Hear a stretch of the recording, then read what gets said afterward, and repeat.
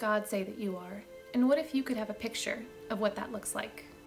My name is Jennifer Paul. I am a prophetic artist, author, and music maker, and today we're going to talk about prophetic portraits. Welcome to our channel, Celebration State, where we empower people to grow in their creativity and their love for God. Prophetic portraits are such a unique way where God can use you to impact others with both His truth and art together. If you're new to prophecy, click the link above me right now and it'll take you to a video or two about how to grow in it and why we believe that God can speak to us in this way. And comment down below where you would hang your prophetic portrait if you had one. Thanks for liking and subscribing. A prophetic portrait is both a prophecy and a work of art in one. The artist prays for a word and then creates an image based on what he or she saw. And this is for upbuilding and encouragement. Now, we want to be clear here that we are in no way trying to get glory for ourselves or imply that we get it right every time. We are still growing. In scripture, we are told to test and weigh every prophecy, and portraits are no different. We want to draw people to God, not somewhere else. So, why get a prophetic portrait? As Christians, we fix our eyes on what is unseen. But how does God really see you? Does he see you as weak, tired, and broken, or strong, capable, and ready?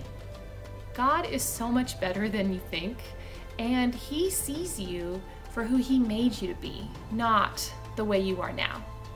And that's why in the story of Gideon, when the angel greets him in the winepress, in an act of cowardice, hiding away, the angel called him mighty warrior. Now we know that there are spiritual battles going on all around us because we don't wrestle against flesh and blood, and we also know that God gives us special tools to fight those battles. And having a visual representation of spiritual warfare can often, but not always, look something like fantasy art, which is super cool. There are knights and princesses, swords, and spiritual power. These things hold spiritual truths, but are also symbolic. In fact, many things in prophetic portraits may represent something else, just like in the parables of Jesus or in the building instructions for the temple. In scripture, prophecy is used as a guiding compass, but it's also used as a weapon. In 1 Timothy 1 8, Paul says to Timothy, this charge I entrust to you, Timothy, my child, in accordance with the prophecies previously made about you, that by them you may wage the good warfare. So these portraits can not only look good, but also help you to wage war against the enemy. A portrait inspired by prophecy can give you the focus point of who you truly are and who you can become with God. Everything from the color of the clothes to the weapons that are being used to even the posture of the person in the painting can represent something. And those deeper meanings can give people truth to hold on to when the world throws lies at them. The truth is, in your life, there will be many battles for you to fight, but remembering who you really are can help you fight them.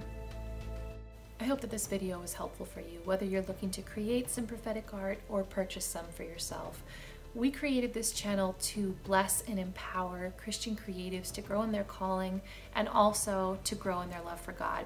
So if you like this video, it would really help us to reach more people. And if you want to come on future creative journeys with us, please subscribe and hit the notifications bell too so we can let you know when we have a new video coming out.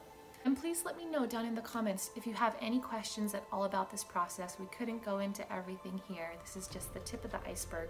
So let me know. I do really try to get back to those as soon as I can. Thank you so much for watching, you guys. Be so blessed.